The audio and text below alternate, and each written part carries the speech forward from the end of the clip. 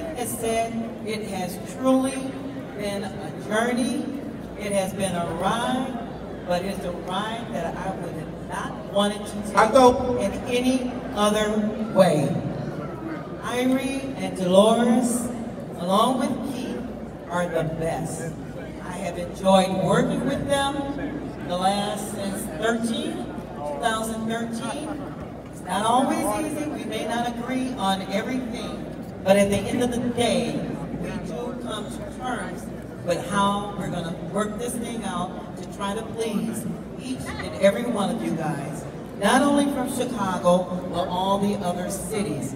Because whether you come from Detroit, New York, Memphis, Tennessee, Florida, we all have one thing in common, and that is to keep stepping alive. All right? And of lately, we also need to keep something in common among us all, is try to keep peace in the streets. Wake up, Eva, wake up.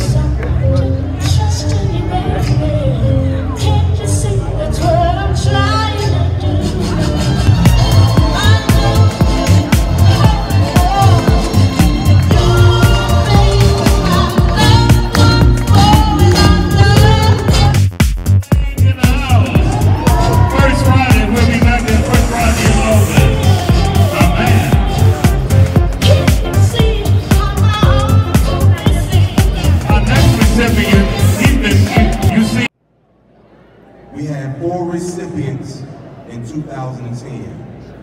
Sam Chapman, Black Mary, Yvonne Muldrew, and this is one I told Calvin Taboo Jared to bring. This is one of the first ones that we had.